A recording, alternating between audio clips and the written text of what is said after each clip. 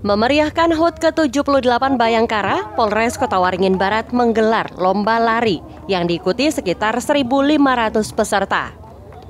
Ribuan pelari yang menempuh dua jarak berbeda, yakni 5 dan 10 km, dilepas dan finish di Taman Kota Bundaran Pancasila Pangkalan Bun.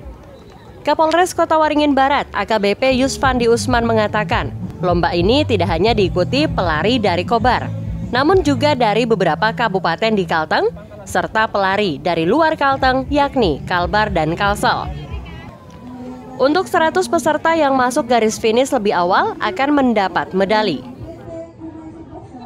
Laksanakan fun run 5 km dan 10 km. Antusias masyarakat Pangkalan Bun, Kota Waringin Barat dan juga dari uh, daerah di sekitar Kabupaten Kota Waringin Barat. Bahkan ada yang dari uh, Banjarmasin, ada yang dari Sukamara dan juga Amandau. Kemudian ada yang dari Pontianak, dan sangat luar biasa kami mengapresiasi dari seluruh peserta yang kurang lebih di pendaftaran secara online 1.500 dan kami harapkan uh, acara ini bisa berlangsung setiap tahun dan bisa mendekatkan diri antara Polri dengan masyarakat. Lomba lari ditutup hiburan musik dan pengundian karcis berhadiah yang menyediakan berbagai hadiah menarik. Dari Pangkalan Bun, Ririn Binti dan Rudi Bintoro melaporkan.